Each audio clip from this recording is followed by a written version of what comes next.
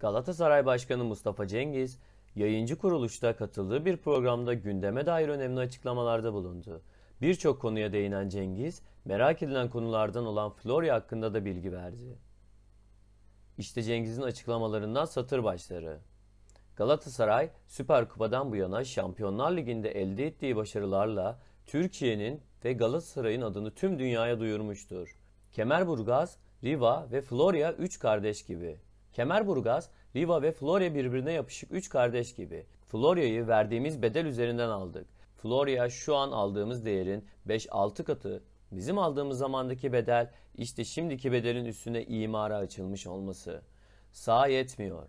Türk futbolundaki en büyük sorun bu. İngiltere'deki her mahallede çim saha var. 20-30 yıl önce sokaklarda sıkışmıştı çocuklar ama artık çift taraflı arabalar var.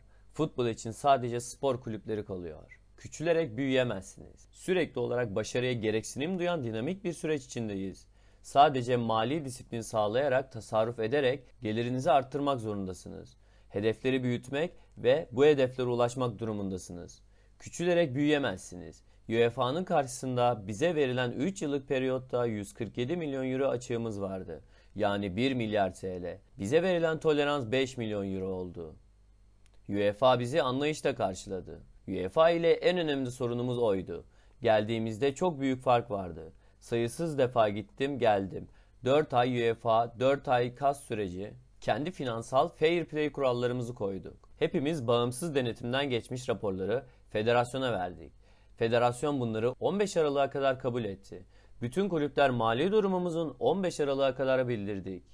31 Aralık'ta TFF harcama limitleri açıklandı. Ama 31 Aralık'tan sonra bir kulübümüz çıkıyor. 8 Ocak'ta benim limitlerim arttır diyor.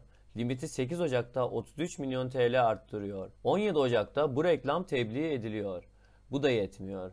17 Ocak'ta tekrar talepte bulunuyor. 16 milyon TL arttırıyor. TFF'den şeffaflık bekliyorum. Bu süreçten sonra şeffaflık bekliyorum. TFF kimin ne kadar limiti var açıklayacak. Lafla şeffaflık, samimiyet olmaz. Bunu göstermeniz, kanıtlamanız gerek. Açık konuşayım, TFF benim sorularımın cevaplarını vermek zorunda. Galatasaray bunu yapsaydı şu an puan silme, para cezası vesaire hepsi uygulanırdı. Bundan eminim çünkü Sayın Nihat Özdemir, Sayın Rıdvan Dilmen'e söyledi. Peki neden diğer takım için uygulanmıyor? Acaba hangi gerçekler getirilecek? Biz o gerçeklerin tamamını çürütmeye hazırız. Türk futbolunda barışı nasıl tesis ederiz? Sorusuna Cengiz, hiçbir kulüp bizim düşmanımız değil. Bütün camialar bizim değerli rakiplerimiz. Aynı platformda eşit şartlarda mücadele etmek istediğimiz rakiplerimiz. Benim yaptığım bütün sert konuşmalara lütfen bakın. Asla durup dururken sert konuştuğum bir laf yok. Siz cam kulelerde otururken etrafa taş atmayın. Size de taş atarlar. Kuleniz kırılır. Barış tek taraflı olur mu? Tek taraflı barış olmaz. Galatasaray Spor Kulübü olarak doğrudan sataştığımız herhangi bir saldırı yok. Biz bize saldırı yapılınca savunma ve tespit yapıyoruz. Saldırı bile yapamıyoruz. Galatasaray tarihinin en çok ceza alan başkanıyım. Hızımı kesmedim. Türkiye Basketbol Federasyonu bile bana ceza verdi. Bir şey demiyoruz. Şeriatın kestiği parmak acımaz. Çürüm cezaya tabidir. Ancak bu ceza uygulamasının ancak bu ceza uygulamasının eşit olmasını talep ediyoruz. Galatasaray'ı verip diğerlerine vermemek yanlış. Fenerbahçe derbisine geleceğim. Kadıköy'deki Fenerbahçe derbisine gideceğim. Yarının eşit şartlar içinde yürütülmesinden yanayız. Biz dahil hiç kimseye ayrıcalık verilmesini istemiyoruz. Galatasaray hocamızın da dediği gibi 8'i de 18'i de 10 puan farkı da dinlemeniz gerekir. Büyük takım olmanın gereği budur. Biz 2 yılda 33 futbolcu transfer ettik. Geçmiş dönemdekiler de dahil 20 futbolcu gönderdik. Çok sirkülasyon var. En büyük rakibimiz kendimiz.